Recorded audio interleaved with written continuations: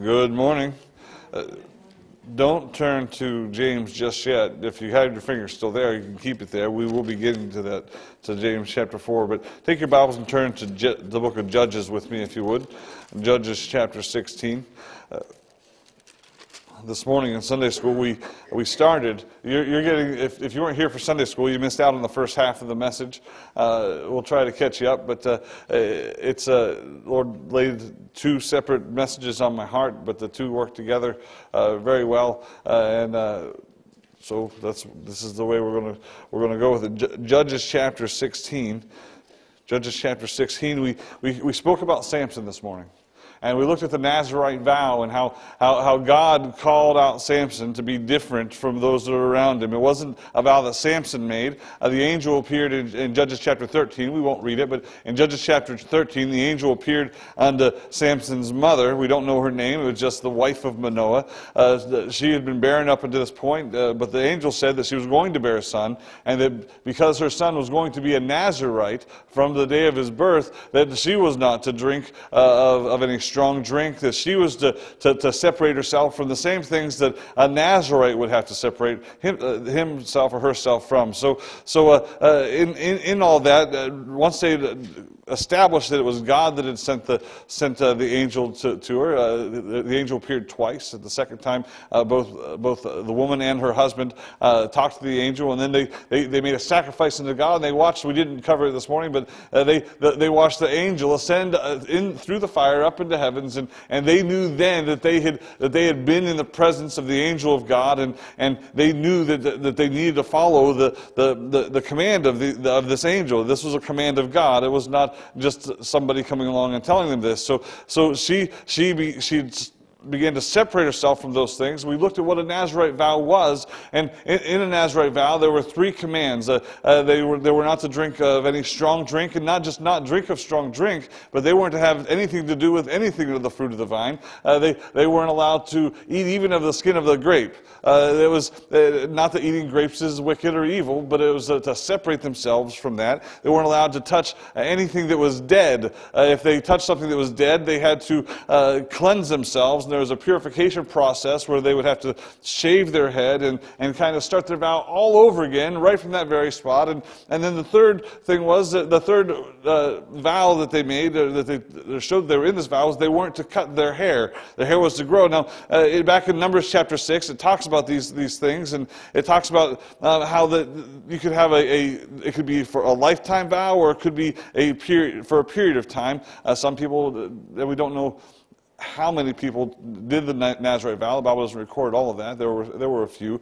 Uh, but but uh, uh, we do know that some could do it for just a short period of time, but but Samson's vow was for his entire life. And it wasn't a vow that Samson put upon himself, it was a vow that God put upon Samson. Uh, God told the angel to appear, uh, the, the, angel appeared into his mother and, and said, told her that this was going to take place. And Samson grew as a young man, and it says that God blessed him, and the Spirit of God was upon him, and he began to move. And, and then we get to look at Samson's life and how Samson broke every single part of the vow that God had, had set forth for him. Uh, uh, he touched uh, those things that were dead. Now we know that he touched dead men because the Bible talks about how he killed men. Uh, the, the, men of the Philistines, they, uh, they came up against him in battle. The, uh, he slew a thousand at one point in time with the jawbone of a, of a donkey. And, and, and listen, he, he touched those men, but that, the Spirit of God was upon him at that point in time. But I truly believe he broke that vow when after he killed the lion, it says a lion uh, had come up against, uh, had roared and come up against him. And,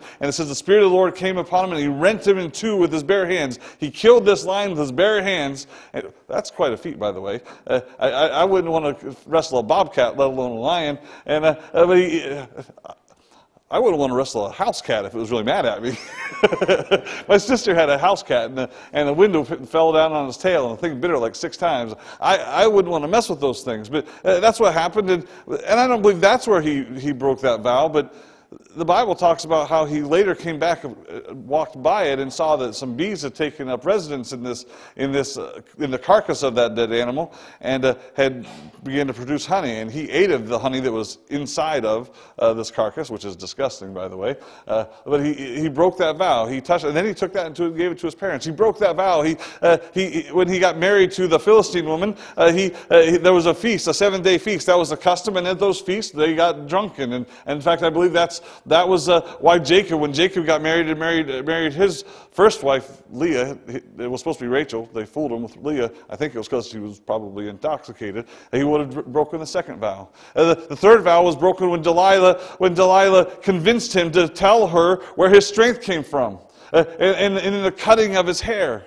Now, the, the, hair was important because at the end of the vow, in, in Numbers chapter 6, the, the, when, when they had finished their vow, when they had taken, taken the, when they had served out the, the time of the vow, they were to go to the priest, and their hair was to be shaved off and given to the Lord in, as a wave offering. It would be thrown upon the altar uh, in the, into the fire. Uh, there was another, there was another uh, sacrifice that was to be made, and the, uh, the, the priest would use it as a wave offering before the Lord. Why? Because it was a picture of all that, that, that they had done in sanctifying and setting themselves apart, right, in the service of God. He broke all of those vows. Look at me in Judges chapter 16, if you would. Verse 20. Now, we, we, know, we know the story. Delilah asked them several times where her strength came from because the Philistines had hired her to, uh, they, to, they threatened her and, and said, uh, listen, tell us, tell us where her strength comes from. And, and so she, she questioned him, and several times he gave her the wrong answer. But finally, it says that he's, I believe it's uh, here in verse 18, it says, When Delilah saw that he had told her all his heart, he told her the truth, and she understood that he told her the truth, she went out and told the Philistines. Says they came up unto her and brought money in their hand. She sold him out, and she made him sleep upon her knees. And she called for a man, and she caused him to shave off the seven locks of his head. And she began to afflict him, and his strength went from him. Now that's a, that's a sad thing right there. The, the final vow was broken. His hair that had never been cut, the, the hair that, uh, we, we perceive that his strength came from. Uh, we, listen, he broke the vow another times. We talked about the grace of God this morning. We all fail at times, don't we? We, we make a mistake. And, and, and I'm grateful for the grace of God that I don't have to go and, and, and, and make some sacrifice uh, to get the, the, the blessings of God and the Spirit of God back upon my life. What I need to do is 1 John 1 9 confess my sins before the Lord, right? Uh, uh, if we confess our sins, He's faithful and just to forgive us and to cleanse us of all unrighteousness.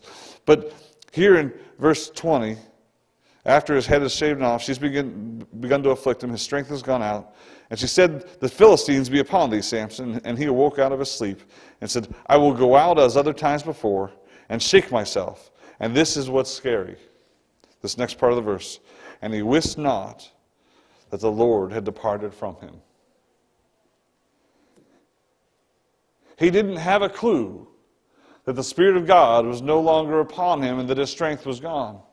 He, he, he wist not. He, he didn't know. Every other time that these, that these Philistines had come on, uh, listen, he'd let, let her bind him with, with, the, with, with the ropes, he, with new ropes that had never been, been used. He let her bind him with, the, with, the, with, the, with, with all other types of things. And, and every other time he'd gone out and just ripped those bindings off and killed the Philistines that had attacked him. But this time, this time there was something that was different, and it wasn't the presence of Samson, it was the presence of God in his life.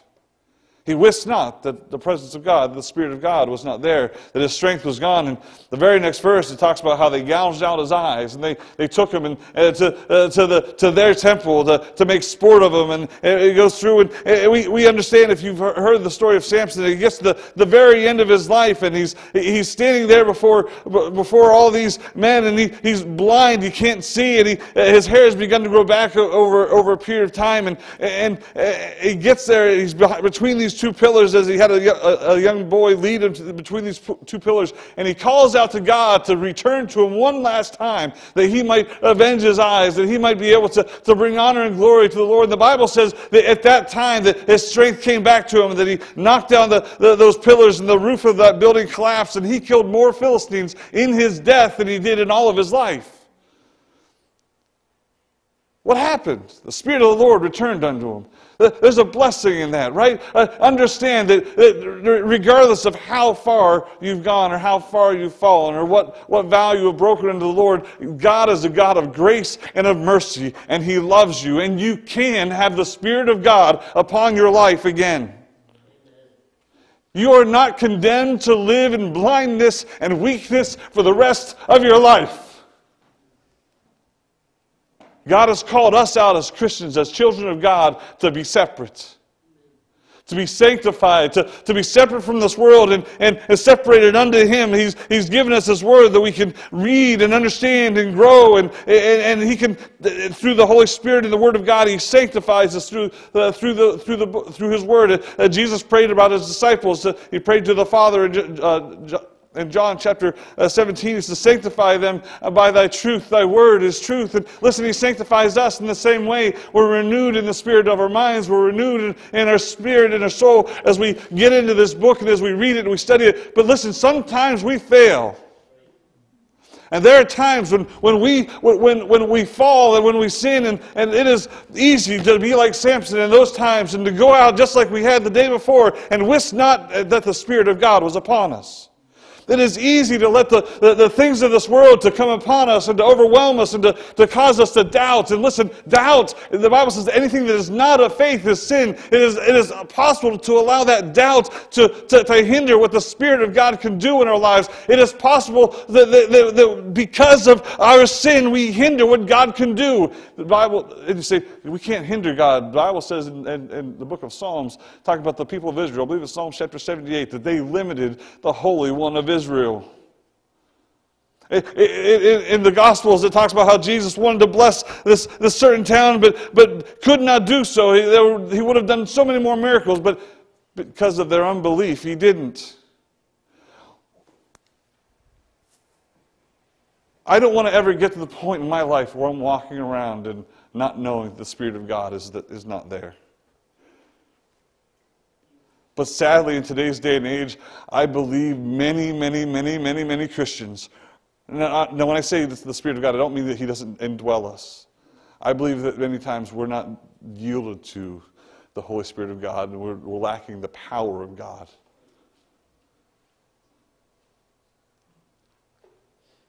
When's the last time you led somebody to the Lord? Or heard about somebody leading somebody to the Lord? Do you really think that the power of God to save is, has weakened?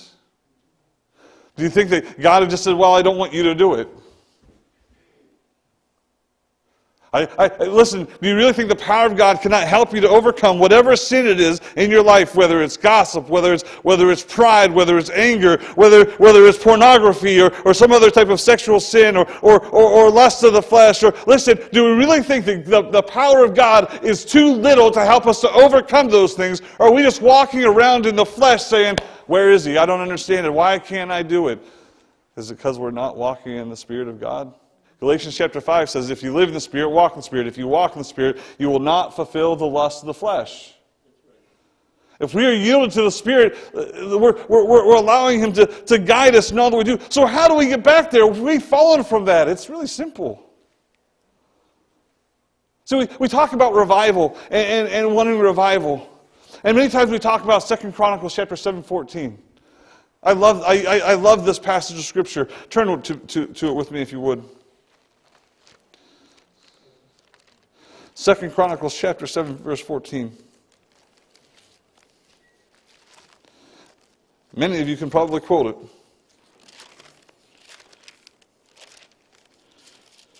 It says, My people, which are called by my name,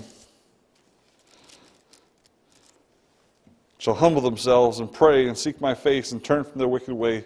Then will I hear from heaven and will forgive their sins and will heal their lands. I have heard so many revival messages preached from that passage. In fact, I've preached revival messages from that passage talking about how we can, if we seek God's face, if we, if we pray, if we turn from our wicked ways, then, then we can see revival in our land. And we talk about having a desire for revival. Man, I think back to the great revivals that we've had in our past. Uh, not necessarily in our, our past, but in our country. I think of the Great Awakening uh, that kind of laid the groundwork for the Revolutionary War and, and and, and America being sprung up from that. Uh, uh, but, but many, many people uh, here in, the, in, in, America uh, came to the Lord at that period of time. Uh, men like Jonathan Edwards and George Whitefield preached, uh, and there were many other preachers, but God blessed and used them to see thousands of people saved up and down the, the, nor- the coast of here in the Northeast. I think uh, uh of the uh, revival that happened in Wales that swept across the nation, and, and thousands of people got saved. It all started with, with, with a small group of people, young people, uh, teenagers, praying, and God, they got to do something. I think about uh, the, the, the, Isle of Lewis uh, and, and, the revival that took place there. The, the, man, when the, the, preacher got there, the revival had already started, and the, the people were outside the church just looking for, the, uh, for some answer.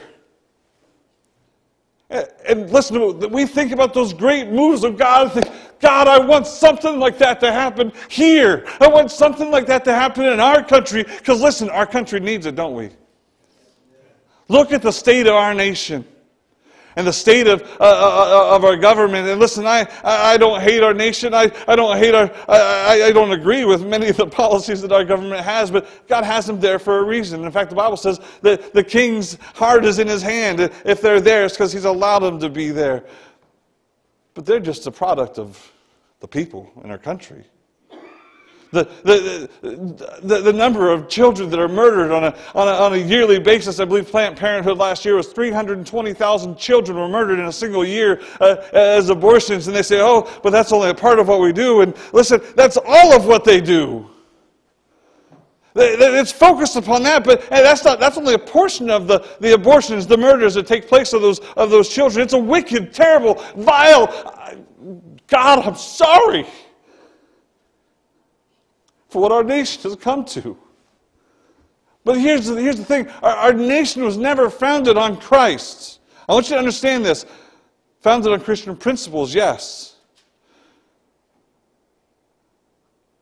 But not Christ. And we've gotten farther and farther away from those biblical principles to the point now where they're laughed at and mocked. Does our country need revival? Absolutely, it needs revival. But you know what needs revival more than that? Uh, there was a man who, who came, I believe it was a, a, French man. He came and he says, he talked about the goodness of America and trying to figure out why America was so good and he, he uh, or why America was so, so bountiful, bountifully and, and, blessed. He says, listen, when America ceases to be good, America will, America will cease to, to, to, to, uh, to, to, be so blessed. Uh, the reason they were good is because they were following Christian principles. But we've gotten away from that. We, uh, it, not, it, not just in abortion, but uh, listen, everything sexuality and, and drugs and alcohol and, and just sin all around. It's just rampant in every, every area of the country that you look at. Do we need revival? Yes, we need revival. But this, this passage that we, I just read, 2 Chronicles 7.14, is a promise to Israel. Context is, per, is everything here. This, is, this takes place during the, the, the, uh, the, the, consecration of the temple. They, they, they're, asking, they're asking God to, to bless. And, and listen, God has said He's going to bless. He's, and this is the promise of God. He says, listen, uh, let's just read it. Go back up to, to verse Verse 11 Thus Solomon finished the house of the Lord and the king's house, and all that came into Solomon's heart to make in the house of the Lord, and in his own house he prosperously effected. And the Lord appeared to Solomon by night and said unto him, I have heard thy prayer, and have chosen this place to myself for an house of sacrifice. If I, if I shut up heaven that there be no rain, or if I command the locusts or devour the land, or if I spend pestilence among my people, if my people, which are called by my name, shall humble themselves and pray and seek my face, turn from their wicked ways, then will I hear from heaven and will forgive their sin and will heal their land. He's talking about Israel in the temple. If because of their sin, he brings punishment, he brings pestilence, and they turn back to him He'll bring healing to their land. It is not a promise to the land of America. If you, you can search the scripture, you're not going to find a promise of revival for our country. There is no promise. Now, that doesn't mean God can't do it. I am not going to say that God cannot bring revival to, to our country. He already has once before. He could do it again, but we don't have that promise. But you know what we do have a promise of? Turn over to James chapter 4.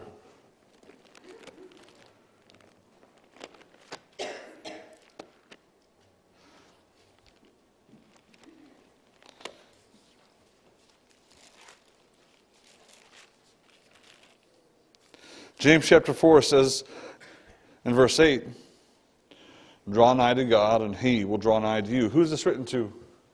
Christians.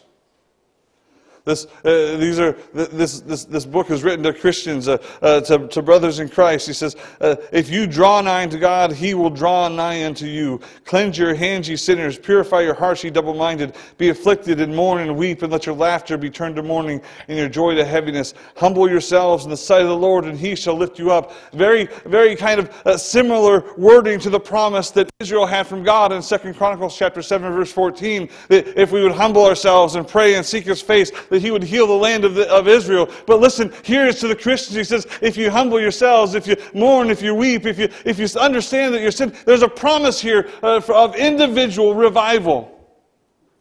God may not revive our nation. He may not revive the state of Maine. Uh, he may not revive uh, even the city of Augusta. Uh, and, and honestly, as much as He wants to, He may not revive our church. But He will revive you. If everybody in our church would seek God's face, if, every, if everybody in our church uh, would, would, would, humble themselves before the Lord and, and seek to be cleansed and confess their sin, listen, we would see church-wide revival. But you can't do that for your neighbor. You can pray that God does a work in your neighbor. You can pray that God does a work in, in, in the person. But before you look at that person, before you, you begin to pray for revival in our country, listen, the Bible says that he that regardeth iniquity in his heart, uh, the Lord shall not hear him. If there is sin in your heart, if there is sin in your life, God will not hear your prayer of revival unless you're praying for you first.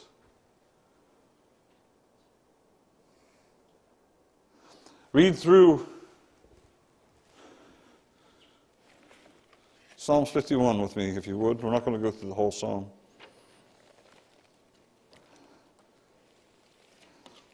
But see, when we're talking about individual revival, when we're talking about what, uh, what God can do in an individual, I believe what we see is individual revival here in the life of one man.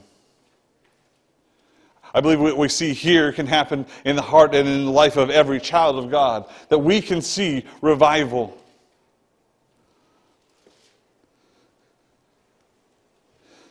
says in verse 1 Have mercy upon me, O God According to thy loving kindness, according to the multitude of thy tender mercies, blot out my transgressions. Look over, look down at verse uh, 2. Wash me thoroughly from my iniquity and cleanse me from my sin, for I acknowledge my transgression and my sin is ever before me. Before we can see real revival in our life, the first thing, the first step that we need to take is to ask and to seek uh, the, the cleansing, uh, a thorough cleansing uh, of the Word of God. Not, now, when I say thorough cleansing, I don't mean a. sorry, the first thing we do is, yes, ask to, to have an honest approach unto the Lord. I'm getting ahead of myself. An honest approach unto the Lord. He asked for mercy. Why did he ask for mercy? Because he knew he was in sin. Remember, David had just been uh, had just uh, uh, been approached by the prophet and said, "David, thou art the man." He he he went out and he wept. He he began to seek the Lord, and and it was uh, this that caused the penning of these words as the Holy Spirit moved upon him. And listen, he saw there was a problem in his life, and he was honest about it. He approached the Lord seeking for mercy. We are not a we are not a people that like to be transparent with anybody. We, we, we come uh, to one another with a facade, with a, hey, how are you doing? Everything's fine, we, even though uh, the world is falling apart around our ears, right? We don't tell people how we're really doing because, and, and what's really burdening us because we don't think they want to hear it. And sometimes you're right, people don't want to hear it because people are people. But God cares. Now, that doesn't mean you don't, very, you don't be honest with people. That's not what I'm saying. But God cares about everything. In fact, He already knows about everything, right? He's, he's omniscient. He, uh, uh, uh the book of Isaiah talks about the, who, who has counseled the Lord. Nobody has counseled of the Lord. He, he knows all and, and, thinks and understands all. He knows and sees every area of your life. And listen, we need to have an honest approach with the Lord because until we're honest with the Lord and honest with ourselves, we're never going to see a need for revival. We'll look at the guy beside us and say, that person needs revival. But unless we're honest with ourselves, we're never going to look at ourselves and say, I need revival. Listen, this week, I, uh, on Friday, we were, Friday night around I was sitting down talking to Jess, and I, I, believe I was talking to Alicia, and somebody came over, and, and one of the other leaders says, Hey, we're getting ready to play some basketball. Uh, uh, it's going to be uh, team leaders against uh, some of the teenagers. I haven't played basketball since I was 18 years old, and I have never been good at it, ever. And he, I, I told him that. He goes, That's okay, we just need a body. He, he got more of a cadaver than he got a body. Uh, uh but I agreed, and I went out there and I ran full court basketball for, for an hour and a half. I was physically weary. I was physically tired. I was exhausted. I was, and listen, I, I was done. But every time they'd ask me, "How you doing?" I'm okay. I knew I wasn't okay. I was the oldest person on that court by at least 10 years. and I'm out of shape. Like, oh, you're fine, you're fine. No, I'm not fine. Listen, we need, to, we need to be able to be honest with ourselves and, and take an honest look at ourselves because we don't like to look at ourselves through the filter of the Word of God. We look to like, look at ourselves in the, in the filter of our culture. And I'm okay as far as the, the culture is concerned. In fact, hey, I'm better than okay as far as the culture is concerned. But according to the Word of God, I fall short. Right? I have to uh, honestly approach God in my prayer and, and seeking revival and say, listen, Lord, I, I, I need your mercy. I acknowledge my transgression. I've, I have sinned against you. And listen, there are times when we don't even necessarily know that we've sinned, right? There's another psalm that says, Search me, O God, and know my heart. Try me and know my thoughts. See, that, uh, there be, listen, we need to uh, seek God and seek His Word uh, to, to apply to our lives. And, and, this book is the mirror which, reveal, which will reveal the, the sin in our lives. That's how we grow, folks. We need to have a, an honest approach into the Lord. Secondly, we need to, we need to uh, be asking for a thorough cleansing. I, I, I, I jumped ahead and mentioned this one earlier, uh, but a, a thorough cleansing. Look at verse 7 and verse 9 with me says, Purge me with hyssop, and I shall be clean. Wash me, and I shall be whiter than snow. Verse 9 says, Hide thy face from my sins and blot out all mine iniquities. Listen, a thorough cleansing means it didn't just wash a little bit of me or a little bit over here, a, a, a complete cleansing. Uh, it, it's not just a, a, cleansing on the outside, but a cleansing on the inside as well. It's, it's, every, it's every aspect of my life, Lord. I'm asking you to cleanse it. And if you show me that I'm wrong, God, I'll, I'll, I'll change it. But too many times we have this little back room room, this closet that's full of junk, that's full of sin, that's full of pride and anger and, and, and bitterness and unforgiveness. And we lock that door and say, God, you've got the rest of the house, but you can't have this room. This is mine. When I got married to my wife, she moved in and I lost everything. I am not kidding. I, I had a nice big closet in my bedroom and in the house in Palermo, and, and I came home the, the week after she moved in, and I went to get dressed the next day, and I said, Where are all my clothes? They're in the hall, in the little closet in the hall. Huh? I thought it was 50 50. She says, No, I got more clothes than you. So every morning I had to get dressed. I'd have to get up, walk out into the, into the hall. Thankfully, we didn't. Nobody else lived in the house with us because it scared everybody to death. And get my clothes. And uh, listen, I, I want you to understand something. I had to give her the run of the place. Now, I'm not saying that everything is hers. It's ours, right? It's a picture. Just, when, I, when I got saved, I said, Lord, I want you to come into my life. And, and, and listen, I'm not saying that, that everybody's perfect from the time they get saved, but I need to open myself up. And there are times that in our lives that we lock away this area and say, No, this is mine, and you, you can't have it. That's not a thorough cleansing. That's that iniquity that I regarded in my heart. And God says, I cannot hear you. You want salvation, you've got to unlock that door and open it up and say, Okay, Lord, go through it and show me where I fail and get rid of it. My wife is good at getting rid of things. I, in fact, I had a whole new wardrobe after about a month. She took all the clothes I bought at Walmart and she threw them away. And, bought, and bought, uh, I, I can't wear the stuff she bought me now because I, I'm too old but that was a long time ago. Listen, uh, she, she cleaned things out for me. And, and listen, my house was a whole lot nicer, by the, by, by the way, after she moved in. I had curtains on windows, and, and it was clean. you'd be surprised what the Holy Spirit would do in our lives if we open ourselves and allow the Holy Spirit to have complete reign in our lives.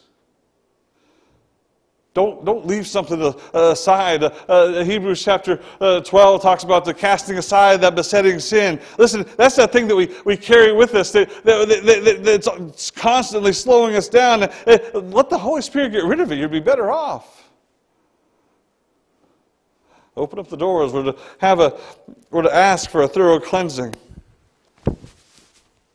and not break the microphone. Third, we're to We're to have an admission and transparent confession. If I didn't need this, I wouldn't be doing this. But we're, having to, we're to have a we're to admit with a transparent confession. Verse four: Against thee and thee only have I sinned and done this evil in thy sight, that thou mightest be justified when thou speakest, and be clear from thou when thou judgest. Now understand when he says this, he's, he's talking about a sin. Remember, David's sin was, was not just against the Lord. Uh, he sinned against Bathsheba. He sinned against Bathsheba's husband and, and the entire family. He, listen, he, he in fact, the, the, the generals in his army, uh, uh, he caused them to murder Uriah. Uh, he sinned against a whole lot of people. But at this point in time, when, when he's coming looking for this, this spiritual, this, this spiritual revival that he's, that he's truly seeking and needs at this point in time, in his life, he understands that, that he's sinned against God, and that's worse than anything else he's done. He comes to the Lord and he's transparent. He says, I have sinned against thee. I need you to forgive me. I need your cleansing in my life. Uh, he says, I need it above all else. He could have gotten uh, the family of Uriah to, to accept his apology, and he could have uh, went and apologized to Bathsheba and, and all the others that were involved. Listen, he got a whole lot of people involved. He didn't go to he didn't go to Bathsheba's house and bring her. He sent somebody to do that. Involved somebody else in his sin. He involved a whole lot of people in in his sin. But uh, the, the, the issue that needed to be dealt with was this issue that he had sinned against God. We need to be able to admit that, that how, how significant our sin is in the eyes of the Lord.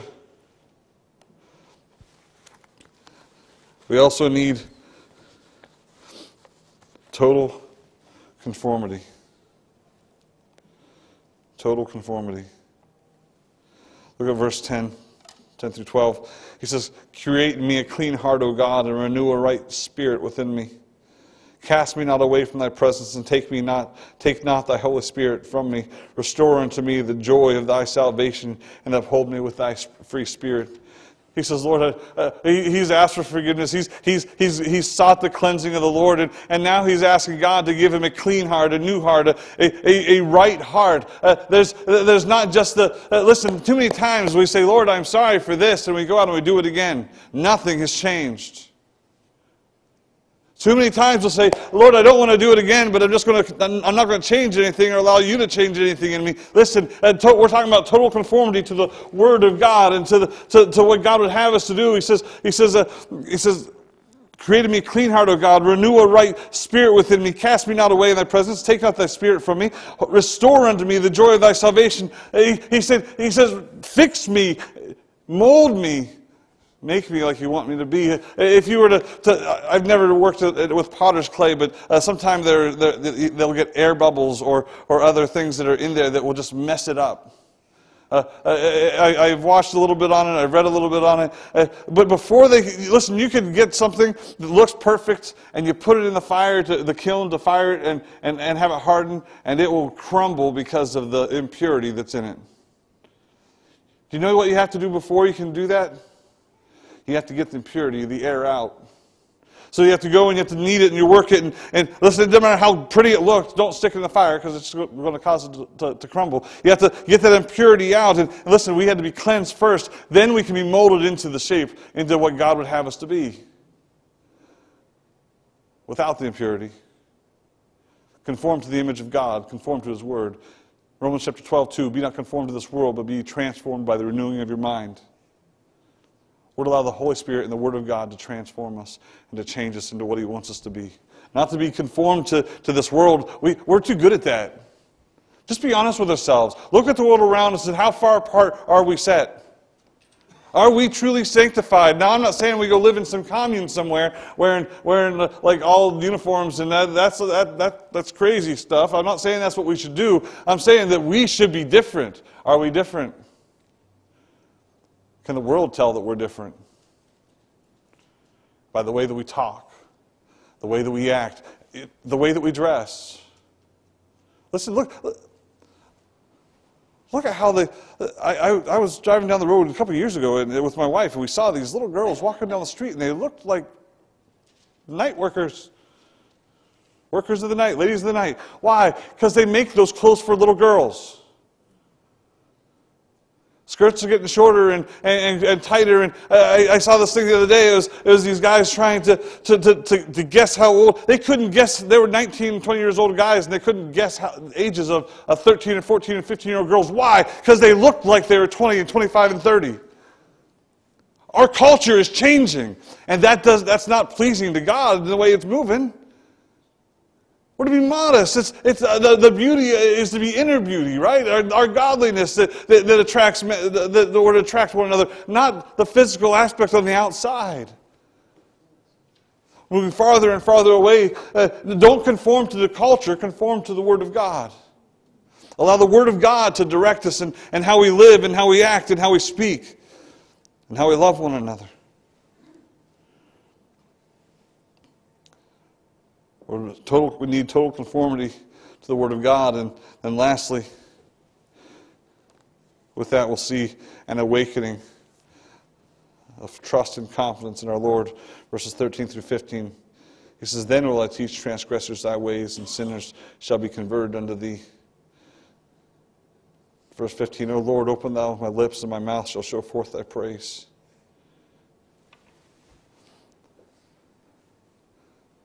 As we see, as we, as we humble ourselves, as we yield ourselves, as we confess our sin, as we're open and honest and really honest with the Lord and not with the facade that everybody has. Listen, eh, eh, we'll, God will begin to do something in our lives. And eh, as the forgiveness of God comes over us, the Bible says, blessed is the man whose transgression is, is, is forgiven. Listen, there's a, there's a happiness, there's a joy as the Spirit of God is, is restored into us. And not that the Spirit of God was, was away from us, but that fellowship was broken. And, and listen, I want you to say there's a joy that returns and that, and that brings back a trust and a confidence in, in God. And we begin to praise Him and, and, and, and uh, talk to Him, with, talk about Him with others. And listen, there, there's a, a change in us outwardly when this has been fixed.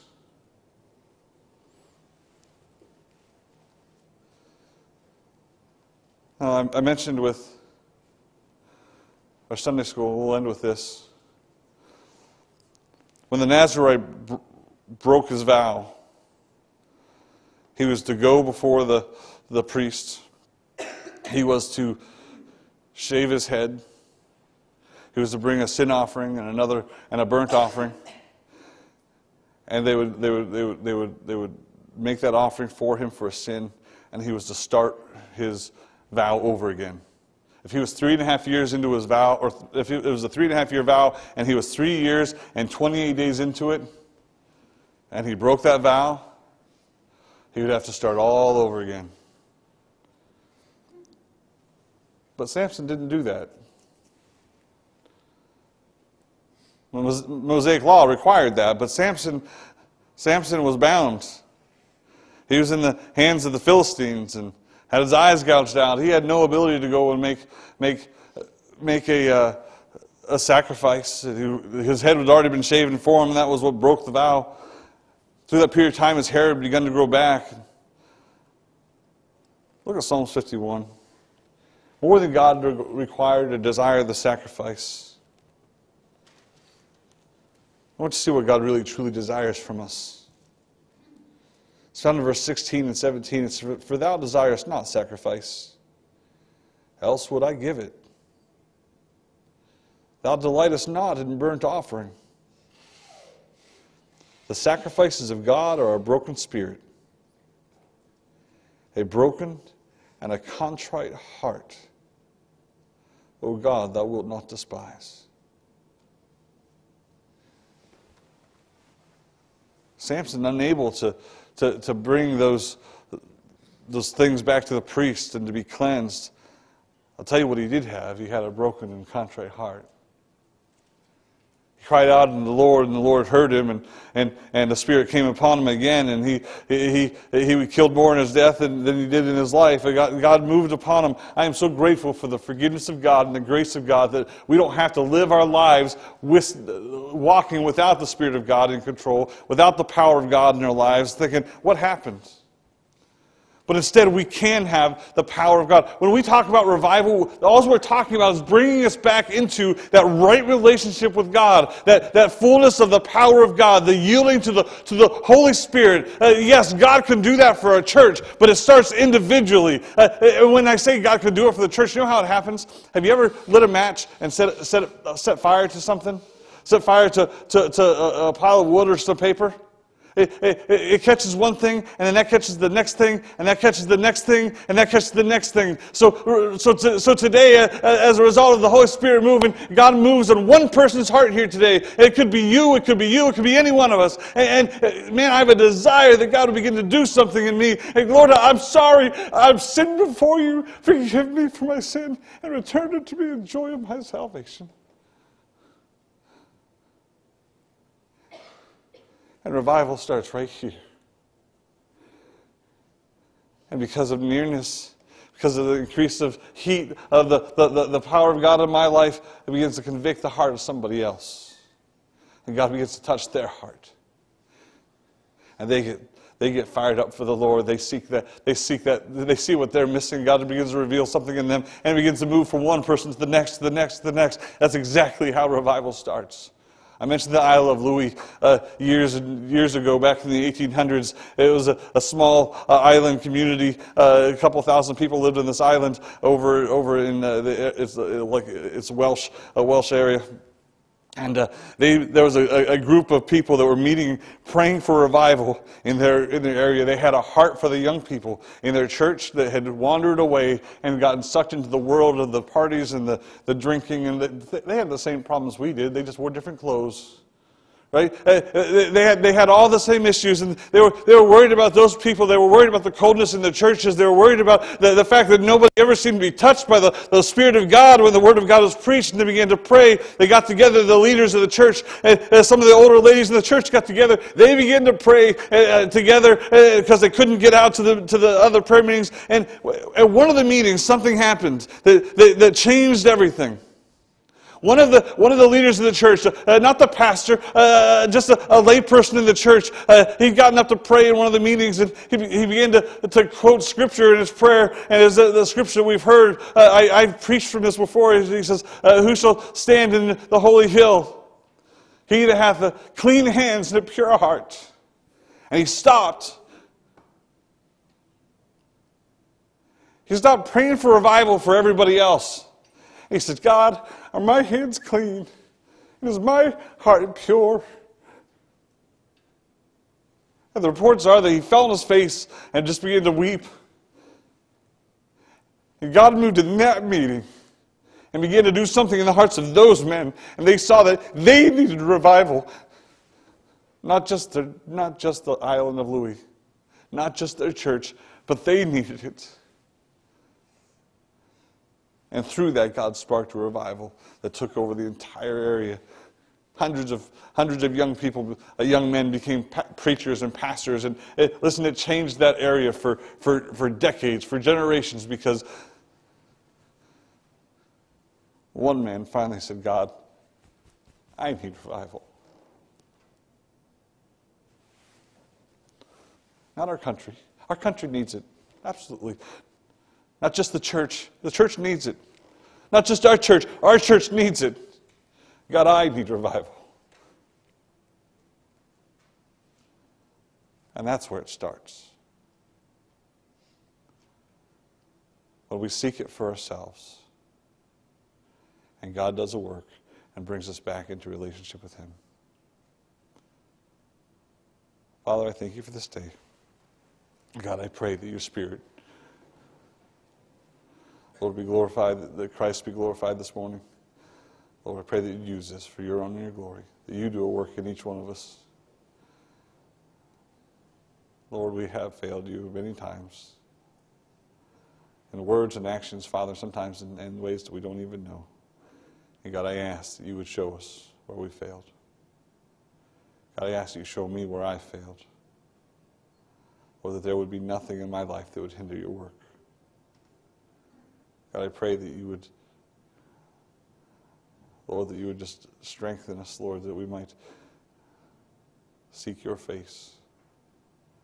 Lord, convict us of our sin if there's sin in our lives. Lord, I ask you to do all the work that needs to be done. We ask this in Jesus' precious name. Amen.